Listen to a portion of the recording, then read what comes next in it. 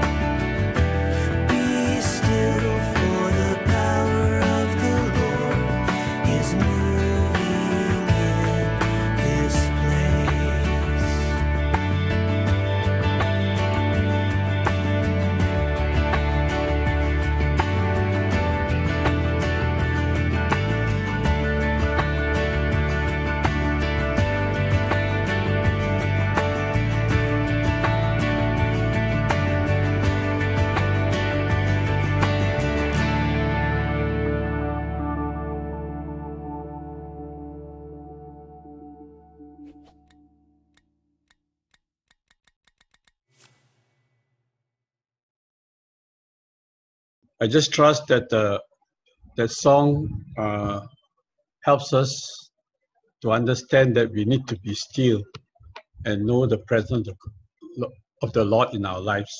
I think that's important for us to continue to remember. Okay. Uh, today's reading is something that we have done earlier. Okay.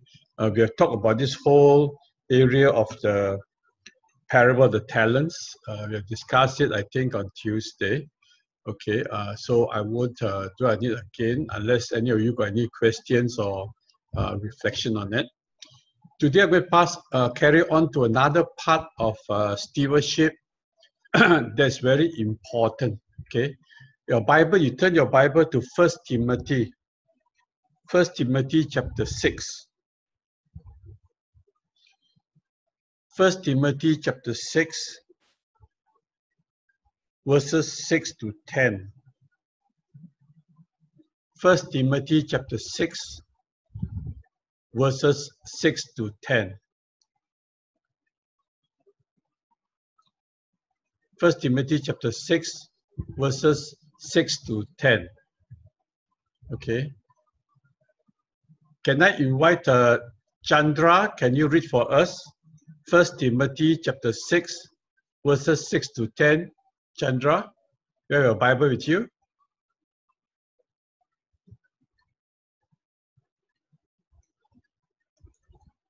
I unmute you, read Chandra.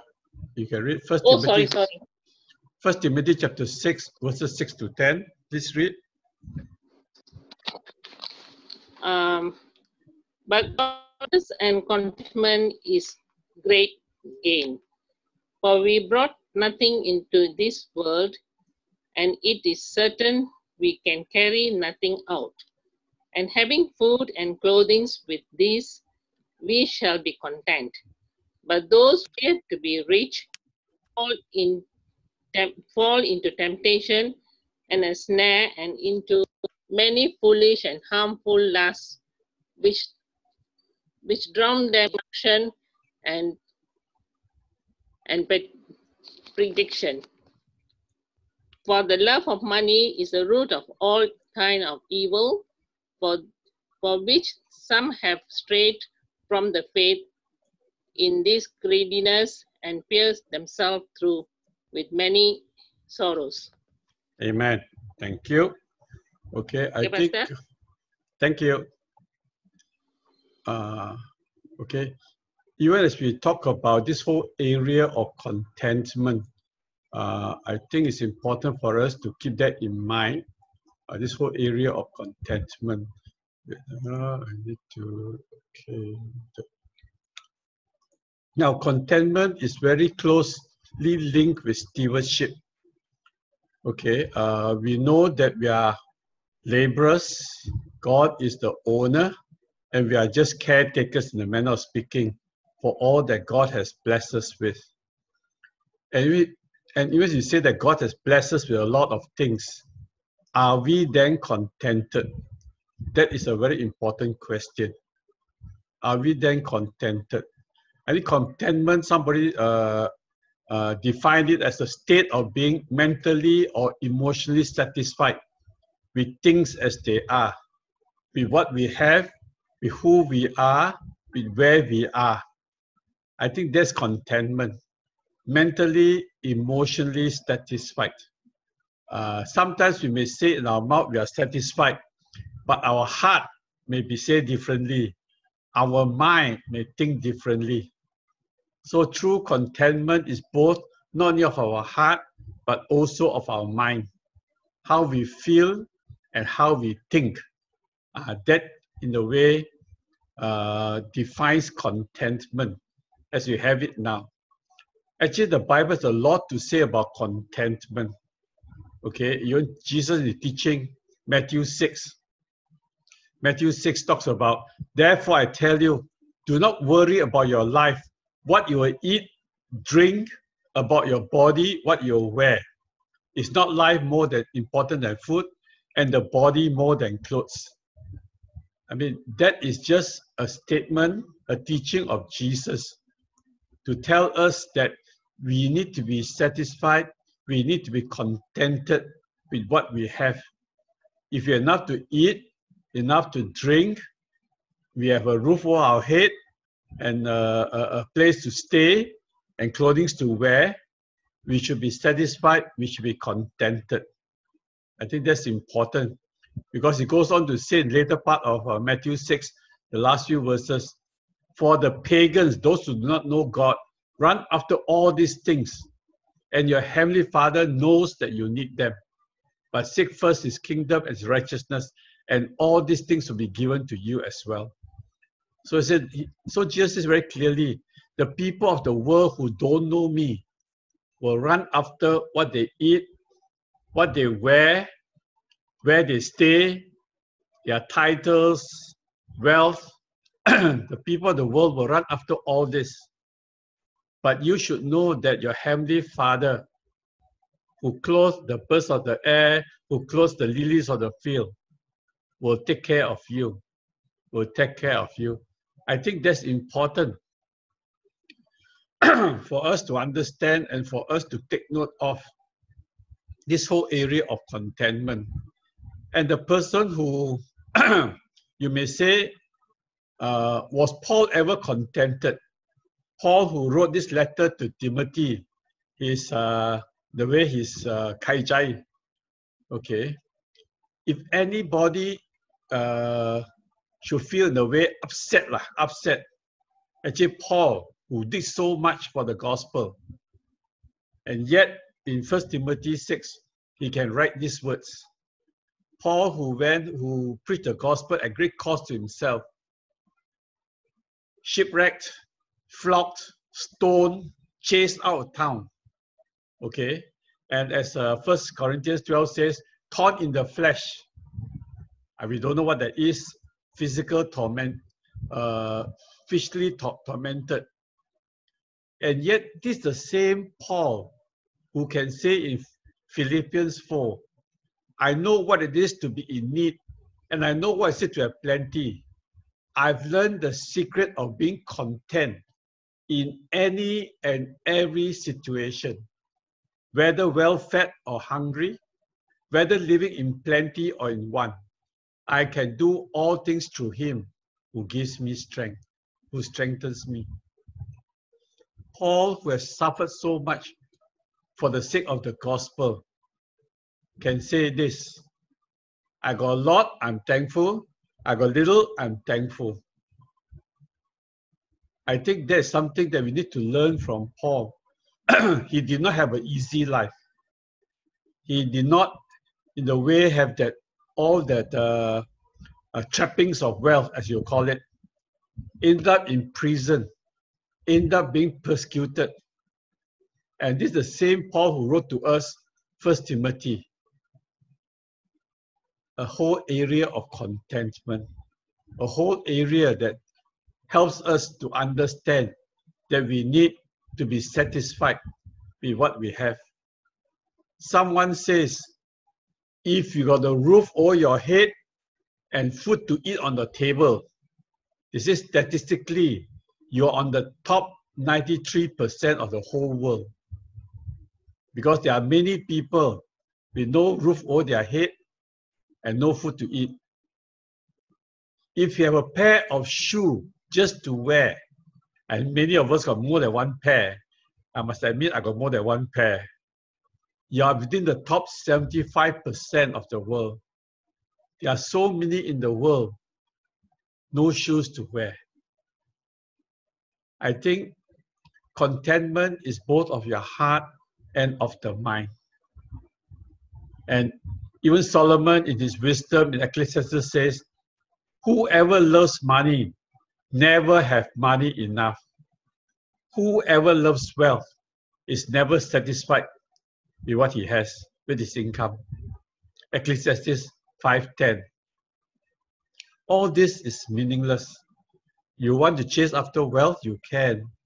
But no matter how much wealth you have, you will never be satisfied because there's always somebody with more or you have more. I think it's important for us to understand this and to come to realization. So I think uh, today's devotion, the whole area of contentment is very important for you and for me. And not only contentment, okay, you see First Timothy 6 6. First Timothy says 6, not only contentment, but godliness with contentment is great gain. So not only contentment, but godliness, a godly disposition, a godly lifestyle, a godly life uh, living that we have we need to have. So not only are we to be contented with what we have, but we need to be godly, God fearing, serving God, walking in God's way. And we put those two of them together, and that will be a great gain. A lot of times we think of contentment only in terms of possession, what we own, what we own, what we have. But actually, contentment is much more than just what we own, our possession. Contentment with who you are. Are you contented with who you are? Are you contented with how you look? Are you contented with your ability, your gifts, ability to sing, ability to do things? Are you contented? Are you contented with the family that God has blessed you with? None of us got a perfect family, but are you contented with the family that you have? Are you contented with the job that you have? There's always something better. There's always another dream that chase after. But are you contented where you are at this time? Are you contented to be a Malaysian? Ask you. Or would you rather be an American or British citizen or New Zealander?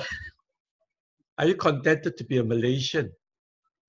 For God has placed you here in this time, in this season. Are you contented to be who you are, where you are, how you are? I think that's important to remind ourselves.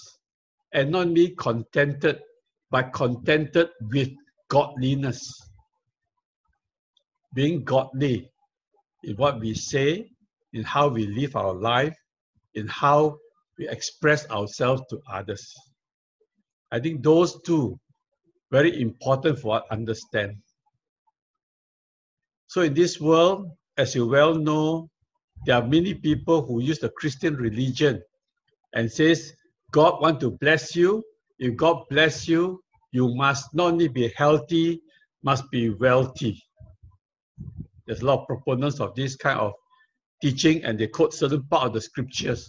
See, God made Abraham so rich. Why can't the rest of you who obey be so rich?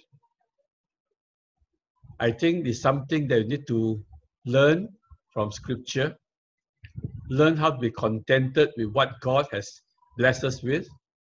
As we did, as we discussed last two days, what talents God has given to you, you are responsible stewards to use that.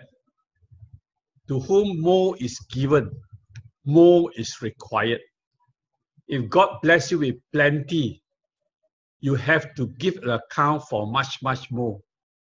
God knows how much we can manage, how much we can handle, and we need to be contented as it is.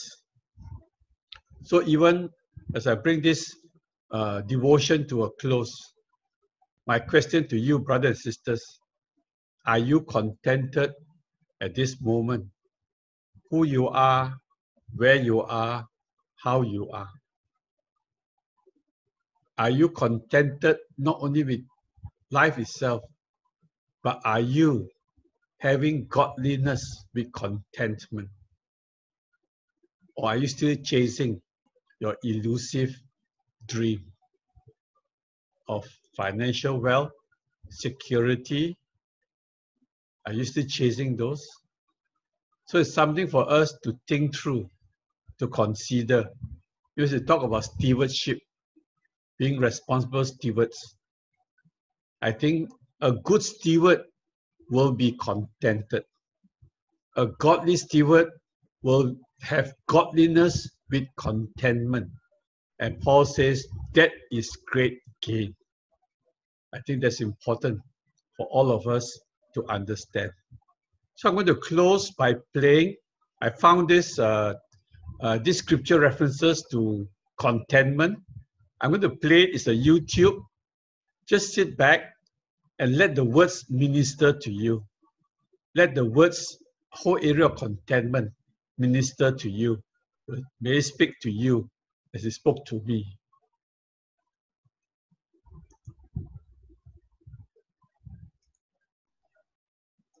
Contentment. A joyful heart is good medicine, but a broken spirit dries up the bones. Proverbs 17 22. All the days of the afflicted are bad, but a cheerful heart has a continual feast. Proverbs 15 15. Godliness actually is a means of great gain when accompanied by contentment. 1 Timothy 6 6. If they hear and serve him, they will end their days in prosperity and their years in pleasures.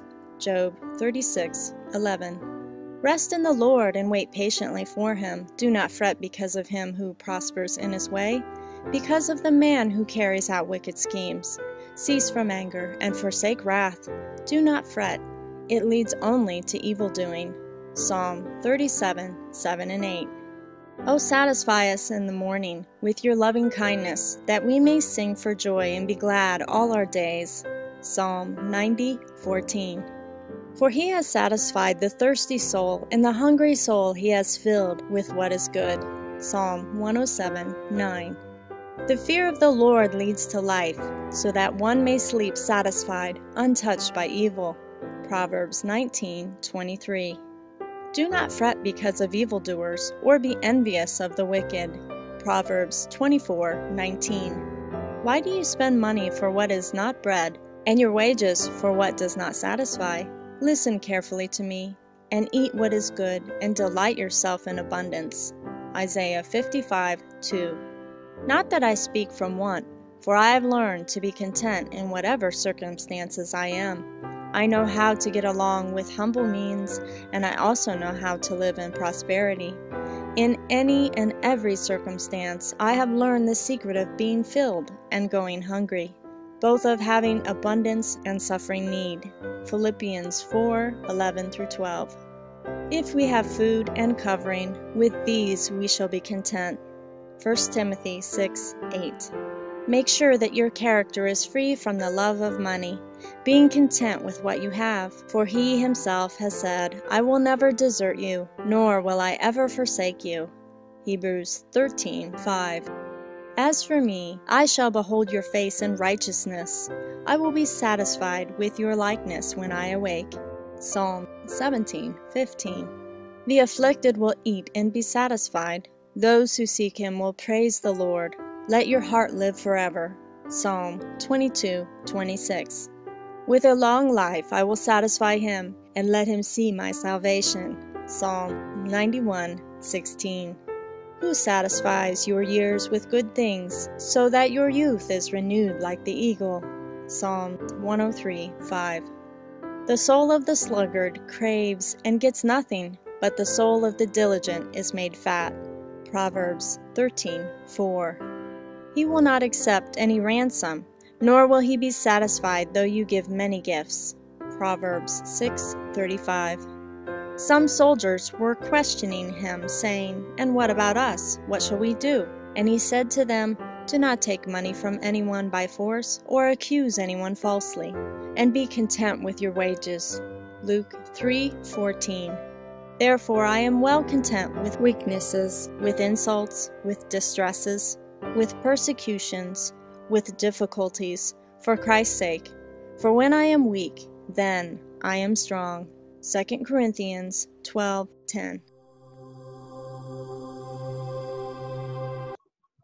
So I hope that uh, speaks to you, okay, as it spoke to me. Let us pray.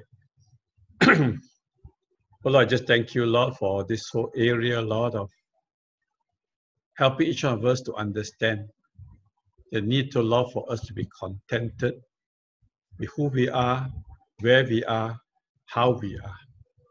For you are God who loves us, and you continue to look out and have your way in our lives. So I just pray, Lord, that each one of us, my brother, my sister, including myself, will know what it means to have godliness with contentment. And truly, O Lord, that we long to be good stewards of your blessing upon our life and continue to do all they want us to do now and forevermore. Amen. Amen. Okay, uh, that's my short.